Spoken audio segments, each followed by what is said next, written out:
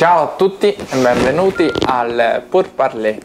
Il Pur Parler, lo ripeto ad ogni singola puntata, è un piccolo talk show diretto ed interpretato da me e dagli ospiti che vado ad invitare ad ogni singola puntata. Questa sera sono in compagnia di due mie amiche che vado a presentarvi. Signore e signori, Arianna Aldrighi. Aldrighi. Aldrighi. A-L-D-R-I-G-H-I. Ben trovata, ciao. Margherita Trombetta. Questo me lo ricorda più semplice. È più semplice. Ciao. Sara, benvenuta. Allora, ragazze, iniziamo la puntata sapendo i vostri dati generali. Quando siete nate, dove siete nate o vivete e cosa fate nella vita. Allora, io sono nata a Foligno il 24 giugno del 1991 e nella vita adesso faccio la mamma a tempo pieno. Che è un grande lavoro. È un grande lavoro. Salutiamo la giovane Caterina. Ciao, Caterina. amore. Prego. Io sono nata il 19 maggio del 91 a Foligno e vivo a Trevi e studio relazioni internazionali a Perugia. Cosa vorresti fare? Mi piacerebbe diventare cooperante, Ossia? ossia andare a far parte di un'organizzazione non governativa per eh, andare poi a lavorare su paesi in via di sviluppo come l'Africa o paesi orientali. Ok.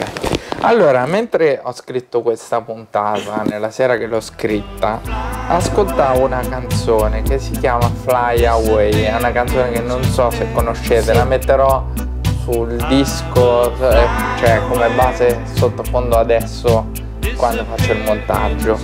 Vi piace volare? Ehm, volare con la fantasia molto, Mm, moltissimo.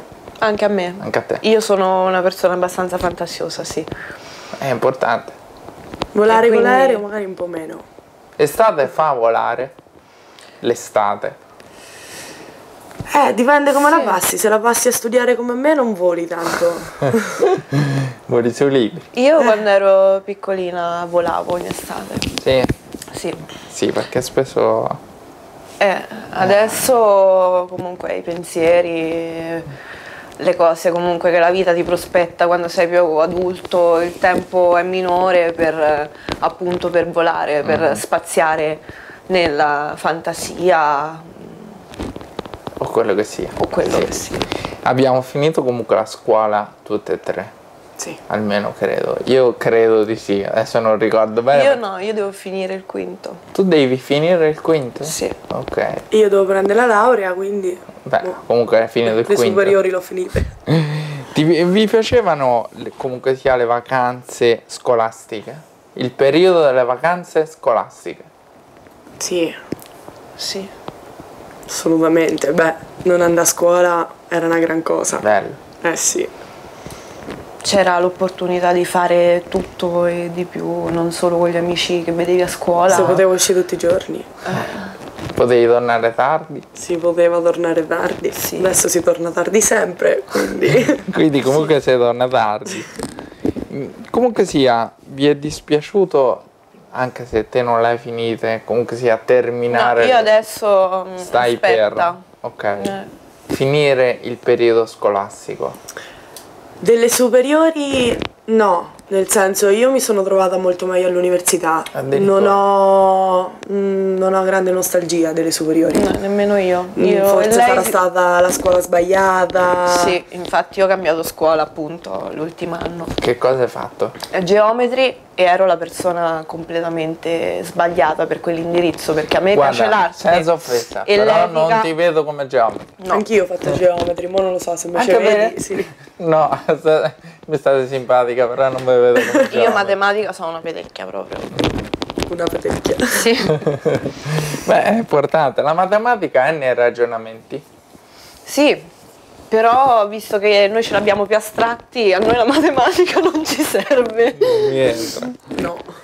Comunque sia, dopo l'esame orale, parlo con te, ti sei sentita più leggera? Sì, tantissimo, tantissimo, anche per me, anche perché per me era un gran peso svegliarsi tutte le mattine andare a scuola, quindi appena ho finito le superiori, fatto l'esame orale, mi sentivo libera. volavo, appunto. Volavo. volavo. In quel- Ecco, quel momento volavo. Sto, sto planando molto basso, sto aspettando di volare anch'io. Parlando di cose leggere, vi piace sollevare cose leggere? Beh, le arg- argomentazioni... Non, so, non lo so. In senso molto materiale non ci ho fatto mai caso. Io l'ho intesa come argomentazioni Come invece. argomentazioni? Noi sempre, molto spesso, argomentazioni leggere. Sì. Sì, perché siamo molto... Vabbè, parliamo... Sollevare anche nel dialogo, perché comunque Sì. sollevo argomenti leggeri, quanto sia. Sì, spesso. Beh, è un quotidiano, penso, tra amici. Dovrebbe, penso. Sì, non si può Sì. parlare sempre di cose troppo serie e pesanti, no? Ogni Se no- tanto bisogna svagarci. Sì, sono d'accordo. È importante non essere pesanti nella vita. Molto. Sì, moltissimo. Io sono circondata da persone pesanti. eh, Non livello- facciamo nomi né, No, né no. altro, non serve. Assolutamente, quindi quella è una branchia che non vedo molto, però fanno il loro effetto, sì. Eh, Te troppa capi? pesantezza dopo un po' Mm. annoia anche, no? Sì, ma credo che a volte essere in qualche modo superficiali, anche se è brutto dirlo, però è, È un vantaggio bello. tante volte. può essere un Sì. vantaggio. Poi ci devono essere sempre le mezze misure, eh, Mm. per carità. Però Però troppo pesanti magari no. assolutamente. Eh, la noia può portare a forti implosioni. Assolutamente sì. Sì. Per quanto mi riguarda sì. Anche per me. Mm. No, guarda, mm, parlate con eh, chi vi fa le domande, io sono cose che penso di me, quindi eh, a volte quando provo noia provo mm, esplosione dentro me stesso, quindi non, non è, non è bello, credo che sia molto brutto, insomma, come, come stato personale perché ognuno ha dei periodi, poi la vita è fatta di periodi, quindi eh, in qualche modo A me fa prendere tanta ansia la Anche mattina. a me. Tanta, tanta. tanta. Se mi annoio divento veramente ansiosa. E sono Il tipo inizia a pensare, la mente viaggia, vola, va dove Troppo gli in là. pare, se mi annoio poi dopo è tragica la situazione, per riprendermi ci vuole un po'. Quindi sì, sono d'accordo. Tento sempre di non annoiarmi, tento sempre di avere qualcosa da fare perché, per Ah, evitare... io adesso non c'ho problema. Ah, so bene, avevo certi proprio. Sei impegnata. Sì, adesso sì. Questo è bello. Com'è diventare mamma da giovane, se posso chiedertelo? Perché Ehm, ma allora, dipende. È bello, stupendo, però non è facilissimo. immagino. Non è facilissimo perché Salutiamo, scusa, eh, salutiamo anche Tommaso che, cioè, che vedrà Ciao. Tommaso. Ciao Tommaso. Però certo ci ho messo in conto tante cose, eh, le amicizie che frequentavo prima sono quasi svanite, ehm, le persone si allontanano e poi vabbè è un'altra vita che a 21 anni non se- io non me la prospettavo perché è capitato così. Quindi l'abitudine c'è stata, c'è stato un lungo periodo per abituarmi. Ma tornando a quello che dicevamo prima della noia, delle implosioni e quant'altro, l'uomo si fa delle paranoie secondo voi? Tante. Tante, l'uomo Le campa donne in questo don- caso. donne, uo- uomo donna, eh. No, io penso, sì. io penso che sia tante. Da entrambe le parti, ma magari gli uomini lo danno meno a vedere. Sì. Forse. Forse. Magari hanno semplicemente un modo diverso di farsi le paranoie rispetto a noi. Del tipo che intendi dire? Beh, magari anche dato che comunque sia gli interessi sono diversi, anche le paranoie poi sono diverse. Poi l'uomo tende sempre a non, eh, a non farle vedere, mentre noi se siamo paranoiate si vede subito, ci si legge in faccia. Sì. È importante non rimpiangersi nella vita. Sì, è importante, ma Sì. credo che ogni tanto sia necessario. Secondo me avviene naturale che qualche rimpianto forse c'è. Sì, i rimpianti ci stanno sempre. Anche piccolini, però. carità. Però sia necessario perché secondo me dai rimpianti poi capisci quello che nella tua vita futura vorrai fare e non vorrai fare, capisci gli sbagli, capisci cosa vuoi. Io per me li chiamo errori io, in questo caso, non rimpianti. Magari ho fatto qualche errore, non lo rimpiango, però da lì c'è stato comunque l'insegnamento che mi porterà o mi ha portato a non fare più determinate cose che prima eh, ho fatto. Per me non devono essere necessariamente errori. No, magari qualcosa che avresti fatto in modo diverso è il rimpianto di come l'hai fatto e sai che magari non lo rifarai. Vi piace comunque affrontare problemi? Eh, giornalmente li affronto. Non- ognuno affronta, affronta dei problemi che possa essere il telefonino, il traffico o qualcosa di importante. Beh, fanno parte degli- della vita i problemi. Sì, ma vi piace comunque affrontarli? Dipende che tipo di problemi Fino a un sono. certo punto. Beh, dipende. Se sono troppi dopo magari... Beh, è chiaro. Eh, un attimo. Cioè, uno vorrebbe anche campare tranquillo. cioè, Sì, ho avuto un periodo che mi piaceva particolarmente affrontare i problemi perché poi li risolvevo magari anche ad altre persone. Adesso proprio no. Meno problemi ci stanno. Meno problemi e meglio è è. giusto semplificare la vita? Sì. No, io me la so complicata tanto. Mi Però- piace complicarmela. Ti piace complicarla? Sì, Che segno sei? cancro.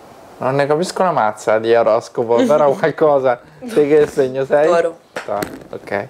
Ehm, affrontare il problema credo che sia difficile ma costruttivo, Sì, assolutamente. perché la vita va affrontata per com'è. Mi piace Poi è troppo semplice annoia la vita, eh. Eh, Assolutamente. Però, Io ho scritto una frase tempo fa su Facebook che dicevo un, un pensiero che avevo letto in un libro, ossia il bene è nemico del meglio, ok? Che è vero, perché spesso ci si accontenta di aver trovato la soluzione in maniera superficiale, quando scavando più a fondo si può raggiungere un risultato più non il importante. meglio, ma l'ottimo, insomma. Ottimo, sì. Però a volte il, l'essenziale può essere migliore ancora. Cerco di rendervi l'esempio. Pensiamo alle macchine. Una delle macchine più vendute, perlomeno dove siamo noi, negli ultimi anni è la Smart. La Smart non ha niente. Niente non ha accessori. Massimo il cambio automatico è piccolo, basta. Però non c'ha accessori, quindi è proprio essenziale. Se parliamo di altri- altre cose, questo è l'essenziale. Questo ha l'essenziale, è un telefono molto funzionante con un tasto. Quindi siamo, cioè almeno come pensiero personale, dell'essenziale. bello. Penso, eh, attenzione, sono pensieri miei, eh, non voglio dire che le, mm, assolutamente. Sì, alcune volte la soluzione è sempre quella più, più facile e meno articolata, insomma. È, è difficile fare cose semplici. Alcune volte sì, secondo Sì. me, perché la mente, cioè quando io parlo per me, mi trovo ad affrontare una cosa, cerco sempre di, di dare il, il più, il massimo, mentre il massimo lo do essendo me stessa, senza stare troppo a pensare e a ripensare su determinati concetti, che quello poi eh, a me fa male. Devo essere, non so se capita anche a te, più pensi meno fai, Sì, più pensi sempre. meno pensi.